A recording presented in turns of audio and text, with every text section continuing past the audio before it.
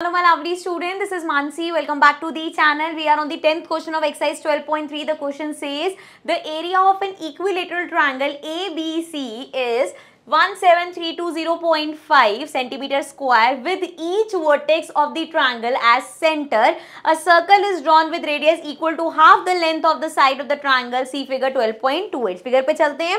ये equilateral triangle है हमारे पास एंड हमें गिवन है इसका एरिया ठीक है?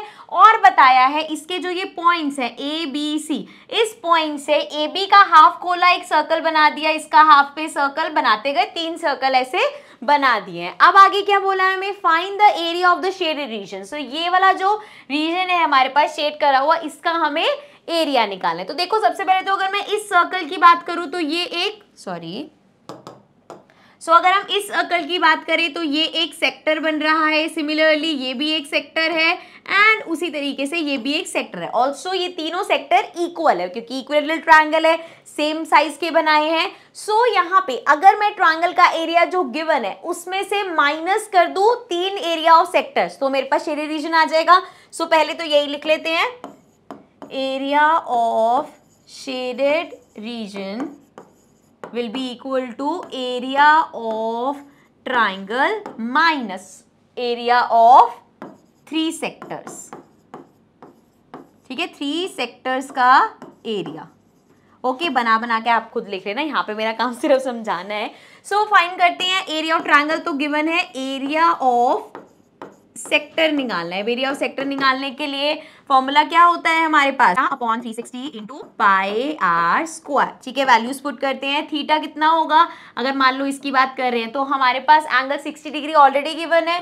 तो ये हो गया sixty upon three sixty into में वी हैव पाई की value twenty two upon seven into r square. अब रेडियस तो यहाँ पे कहीं पे भी नहीं दे रखी। सो हम फंस गए, क्योंकि हमें तो चाहिए रेडियस, और रेडियस होगी क्या? कैसे निकालेंगे रेडियस? जैसे अगर मैं इस सर्कल की बात कर रही हूँ तो इतना चाहिए, और हमें क्वेश्चन में गिवन है। ये साइड का हाफ़ है बट साइड भी तो नहीं गिवन तो हमें पहले निकालनी पड़ेगी ट्रायंगल की साइड उसका हाफ़ करके हमारे पास रेडियस आएगी एंड देन ये आगे क्वेश्चन होगा। सो नेक्स्ट पेज पे चलते हैं। We have area of triangle so पहली बात तो इक्विलेटरल ट्राइंगल का एरिया क्या होता है? Root three upon four into side square so यहाँ से हमें साइड को निकालेंगे क्योंकि एरिया हमें गिवन है। Area is one seven three two zero point five so one seven three two zero point five equals to root three की value भी क्वेश्चन में गिवन है। क्या वैल्यू है? वी हैव कहा गया? आप देखो एक चीज़ नोटिस करोगे कभी गिवन होती है 1.7 ले लो कभी होते हैं 1.73 ले लो। यहाँ पे ये पूरी वैल्यू गिवन है। इसका रीजन क्या है? अगर आप देखोगे तो ये एरिया और ये सेम है तो कैलकुलेशन इजी हो जाएगी। सो so, यहाँ पे वैल्यू रखते हैं ज़ीरो फाइव अपॉन में फोर इंटू साइड स्क्वायर ठीक है जी साइड हमें निकाल लिया ये यहाँ पे डिवाइड हो रहा है इधर जाके।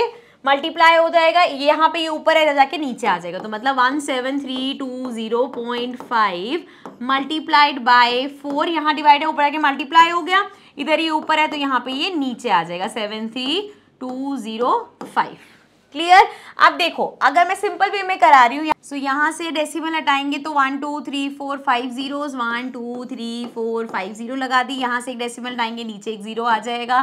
ज़ीरो से ज़ीरो कर दिया कैंसिल ये पूरा नंबर आपस में कैंसिल हो जाएगा। हमारे पास बचा forty thousand and equals to side square तो इधर स्क्वायर है, इधर अंडर रूट हो जाएगा मतलब साइड हमारा हो जाएगा अंडर रूट में four zero zero zero zero. So forty thousand हमारा अब किसका स्क्वायर होगा? इसको अगर मैं ब्रेक करूँ so I can write it as four into one एक, दो, चार, zero and two three four so four किसका स्क्वायर होता है? टू का एंड ये किसका स्क्वायर होता है? हंड्रेड का।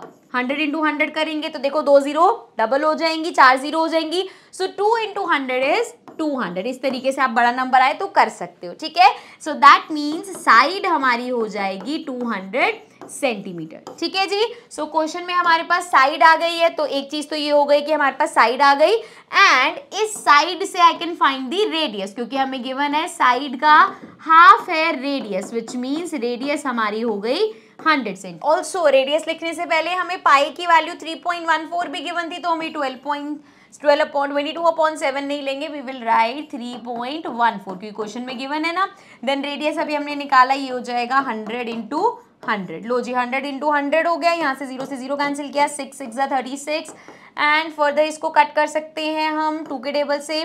तो ये हमारा हो जाएगा, यहाँ पे तो आ गया three this will be one ten हो जाएगा फाइव और वन फिफ्टी सेवन और पॉइंट लगा देंगे तो one point five seven also ये हंड्रेड से मल्टीप्लाई होगा वन फिफ्टी सेवन हो गया। सो so ये हमारे पास आ गया one fifty seven hundred upon में थ्री ठीक है? दो हंड्रेड थे ना एक बार हंड्रेड से मल्टीप्लाई किया डेसिमल हट गया एंड दोबारा से करेंगे तो one fifty seven hundred upon three आ जाएगा। इसको ऐसे ही रहने देंगे सॉल्व आगे नहीं करेंगे बिकॉज़ हमें थ्री सेक्टर्स का निकाला तो थ्री से थ्री कैंसिल हो जाएगा। सो so, यहाँ वापस चलते हैं एरिया ऑफ़ ट्रायंगल क्या है?